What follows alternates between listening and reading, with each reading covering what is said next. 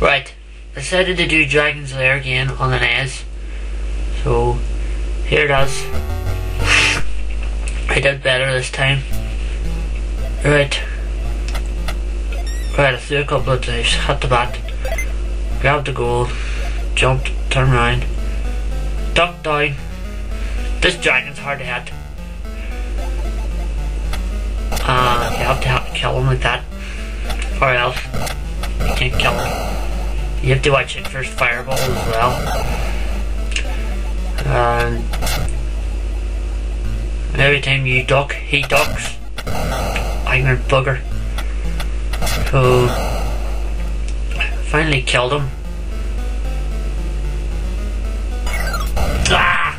I went and fell. Dropped. Oops. Right, here we go again. Right, jump the that. Jump over. Back down. And Ah, die dragon. Die. See the dragon's ignorant. See that? Just hit me with fireball. Now what did that happen for? Oh well. Jump and grab the gold again. Hit the bat. Jump and duck. And hit him. No, hit him. Keep chucking him. Hit him. Hit him! Kill the dragon! You're going to die, dragon. Okay, die now. Okay, please don't fall. Please don't fall. It's okay, I got across here.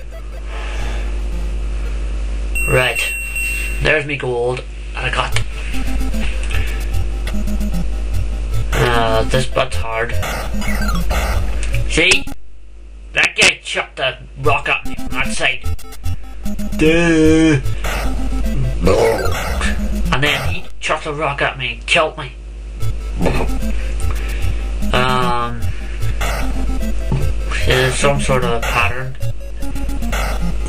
See this? This ignorant snake right and freaking killed me. Dirty bugger. Right, watch these guys throwing the rocks again and hit the snake. And you see that? That stupid thing killed me. Oh well, I managed to get a high score. I just done it. Bah. Right. Credits. Game. Dragon's Lair. Console. NES. Game player. Patrick Quinn. Me. Commentary. Patrick Quinn. Me. Again. The end. That was good.